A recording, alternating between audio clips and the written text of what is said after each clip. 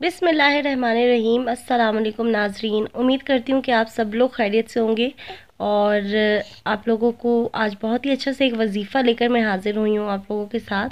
तो सबसे पहले आप सबसे दरख्वास्त है कि जिन जिन लोगों ने अभी तक मेरे चैनल को सब्सक्राइब नहीं किया है, काइंडली जल्दी से चैनल को सब्सक्राइब कर दें, वीडियो को लाइक कर दें, शेयर कर दें और बेल आइकन दबाना ना भूलिएगा ताकि मेरी आने वाली हर वीडियो आपको बर वक्त मिलती रहे। तो आज का वजीफ़ा जो है वो बे औलाद जोड़ों के लिए शानदार तोहफ़ा है, शानदार वजीफ़ा है उनके लिए। जिन लोगों के घर कई सालों से जो जो है औलाद नहीं है और कई सालों से जो है अल्लाह ताला ने उन्हें औलाद की नेमत से नहीं नवाजा। तो इन ताला इस वजीफ़े से अल्लाह ताला जो है उनको औलाद की नेमत से नवाज़ देंगे। और आपने सबसे पहले बात यह है कि आप लोगों को पाँच वक्त की नमाज़ बाकायदगी से अदा करनी है। और दूसरी बात ये कि कोई भी वजीफ़ा करने से पहले आपको सबसे पहले सदका खैरात ज़रूर करना चाहिए। तो रोज़ाना फजर की नमाज़ के बाद जो है सात मरतबा आपने चालीस दिन तक ये पढ़ना है। इन ताला जो है औलाद पैदा होगी और आजमूदा ये वजीफ़ा है। और ये वजीफ़ा जो है बहुत ज़्यादा आजमाया हुआ है और बहुत ही अच्छा वजीफ़ा है। तो वजीफ़ा ये है, मैं आपको बताती चलूँ कि सबसे पहले आपने सात मरतबा जो है दुरू शरीफ पढ़नी है।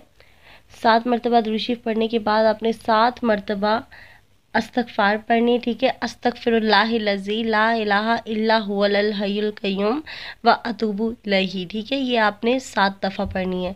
सात मरतबा पहले आपने दूशी पढ़ ली, सात मरतबा आपने अस्तगफिरुल्लाहिल्लज़ी, ला इलाहा इल्ला हुवल हय्युल क़य्यूम व अतूबु इलैहि, ये आपने पढ़ना और सात मरतबा फिर से जो है मतलब आपने सात मरतबा आपने पढ़ना है। रब्बी हबली वमिन सालहीन। ये आपने पढ़ना है, ठीक है? और फिर उसके बाद आपने सात मरतबा पढ़ना है, रब्बी हबली मिलदन का वजुरियात ठीक है? ये आपने इन्ना का समीत दुआ, ये आपने पढ़ना है। और सात मरतबा आपने पढ़ना है रबना हबलना मिन अजवाजिना वजुरियातना कुर्रतन।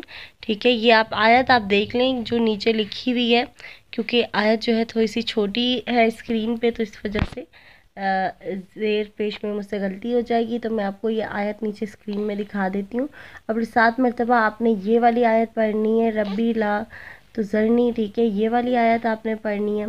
और सात मरतबा आपने ये भी पढ़ना है रबन आतना फिर दुनिया हसन तो फिर आखराती हसन तो वकीना जाबन्ना ठीक है, ये भी आपने आयत पढ़नी है।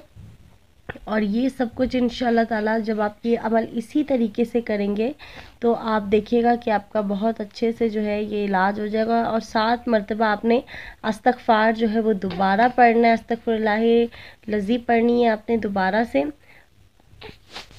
और फिर सात मरतबा आपने दुरूद शरीफ भी पढ़नी है दोबारा से।